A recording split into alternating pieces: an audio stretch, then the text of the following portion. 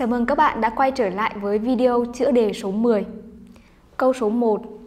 After a year, the hedge fund's returns had changed for the worse because of the weak economy. A. Efficiently. B. Significantly. C. Securely. D. Admiringly. Ở đây chúng ta có câu A mang nghĩa là có hiệu quả, hiệu nghiệm. B. Đáng kể. C. Chắc chắn, đảm bảo và đi là không phục ngưỡng mộ.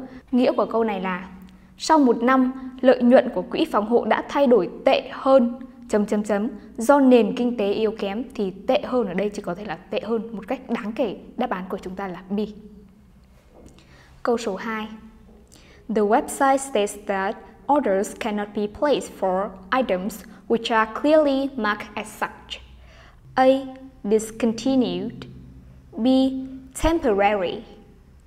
C. Partial D. Condition A. Ngừng sản xuất, dừng lại B. Tạm thời C. Một phần D.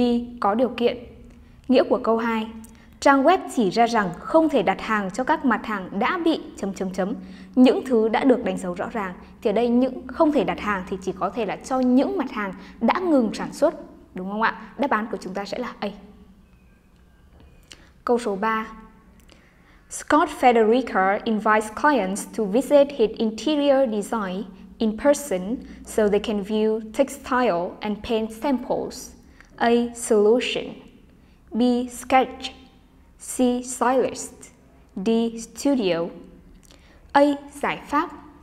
B. Bức phác họa. C. Nhà tạo mẫu và D là xưởng hoặc là không gian sáng tạo.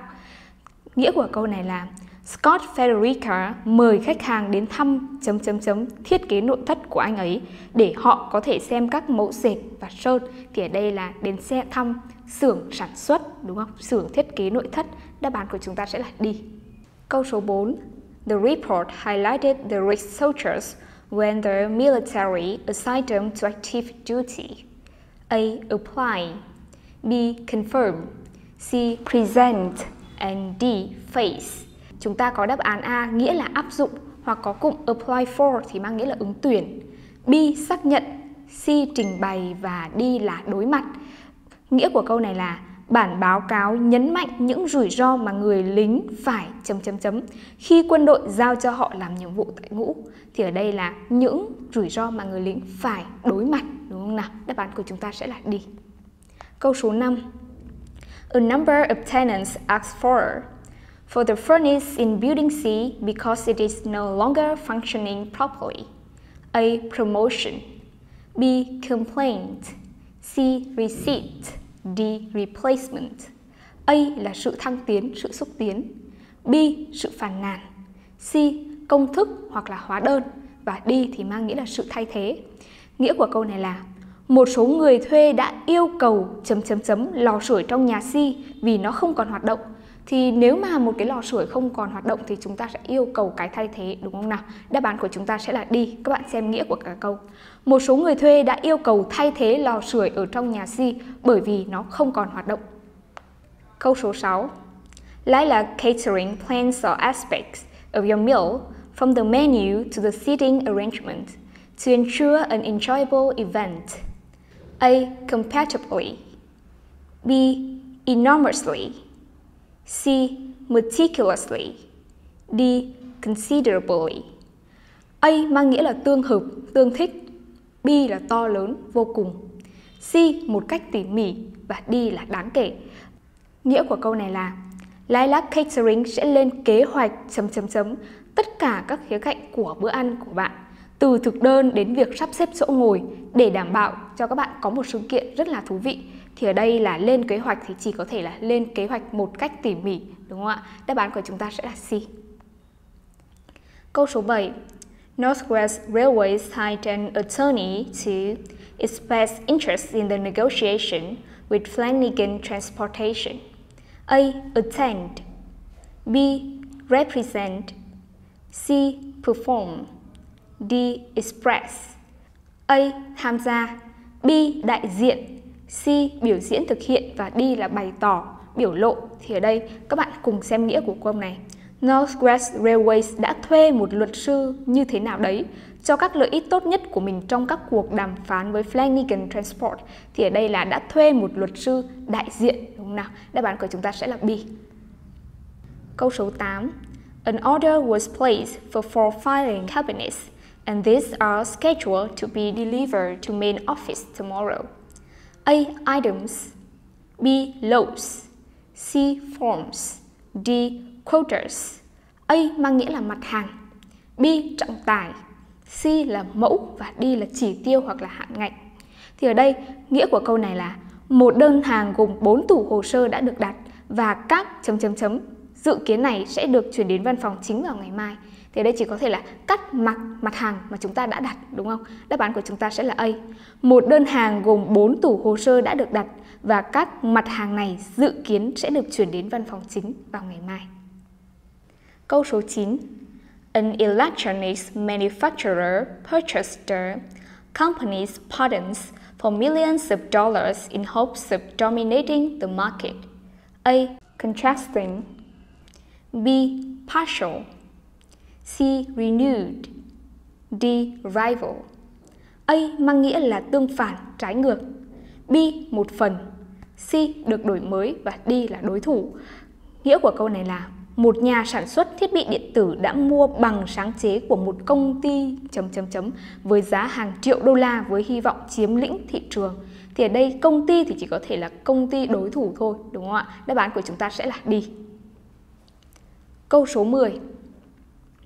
A number of training events has been held, but the managers believe that Thursday's workshop was the most on A. Successful B. Overall C. Wealthy D. Delighted A. Mang nghĩa là thành công B. Toàn bộ, toàn diện C. Giàu có và D là vui mừng, hài lòng Các bạn hãy cùng xem nghĩa của câu này một số sự kiện đào tạo đã được tổ chức, nhưng các nhà quản lý tin rằng hội thảo hôm thứ năm là hội thảo thành công nhất, đúng không ạ? Đáp án của chúng ta sẽ là A. Câu số 11. The use of vitamin supplements in young adults have risen over the last decade. A. Mutually B. Accurately C. Dramatically D. Tightly A. Lẫn nhau qua lại B chính xác, C đột ngột và D là chặt chẽ. Các bạn hãy cùng xem nghĩa của câu này. Việc sử dụng thực phẩm bổ sung vitamin ở người trẻ tuổi đã tăng lên đột ngột trong thập kỷ qua. Đáp án của chúng ta là C. Câu số 12. After the advantages and disadvantages of the proposal, the committee decided to take a vote. A.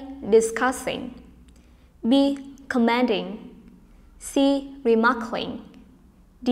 Conferring Chúng ta có cụm confer with somebody on hoặc là about something mang nghĩa là bàn bạc hoặc là hội ý. Còn ở đây, chúng ta sẽ có từ discuss mang nghĩa là thảo luận. Các bạn hãy cùng xem đáp án A ở trong câu này. Sau khi thảo luận về những lợi ích và bất lợi của đề xuất này, thì ủy ban đã quyết định là sẽ bỏ phiếu. Câu số 13. Any new exercise regimen should be started under the of a physician in order to avoid health complications.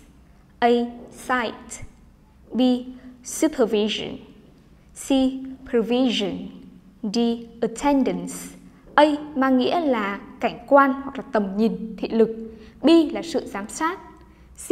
Sự cung cấp, sự đề phòng hoặc là điều khoản ở trong hợp đồng Và D là sự có mặt, số người có mặt các bạn hãy cùng xem nghĩa của câu này. Bất kỳ chế độ tập thể dục mới nào cũng nên được bắt đầu dưới sự chấm chấm chấm của bác sĩ để tránh các biến chứng về sức khỏe. Ở đây chế độ tập thể dục mới nên được bắt đầu dưới sự giám sát của bác sĩ để tránh các biến chứng về sức khỏe. Đáp án của chúng ta sẽ là B. Câu số 14. Because of the highly confidential nature of the document, Only authorized personnel are to see it. A. Decided B. Associated C. Reading và D là permitted. A. Quyết định B. Kết giao liên đới C. Viết và D là cho phép. Nghĩa của câu này là do tính chất bảo mật cao của tài liệu chỉ những người có thẩm quyền mới được chấm chấm chấm xem nó thì ở đây là mới được phép xem nó đúng không ạ? Đáp án của chúng ta sẽ là đi. Câu số 15. The main critics are likely to find the revised business plan more elaborate than the previous one. A. Strangely B.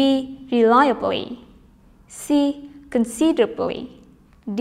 Dangerously A. Kỳ lạ, lạ thường B.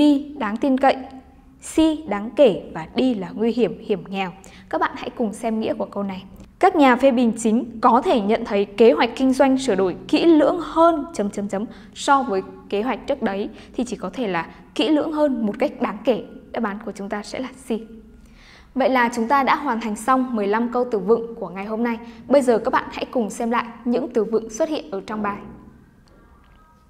Efficiently significantly, securely, admiringly, discontinued, temporary, partial, conditional, solution, sketch, stylist, studio, apply, confirm, present, face, promotion, complaint, receipt, replacement, compatibly, enormously, meticulously, considerably.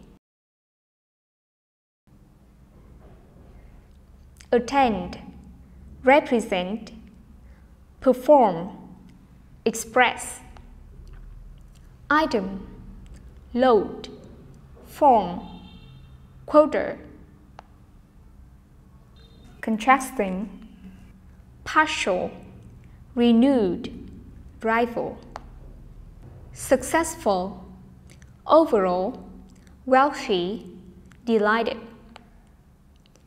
mutually, accurately, dramatically, tightly, discuss, command, remark, confer, cite, supervision, provision, attendance, decide, associate, write, permit, strain, reliable, considerable, dangerous.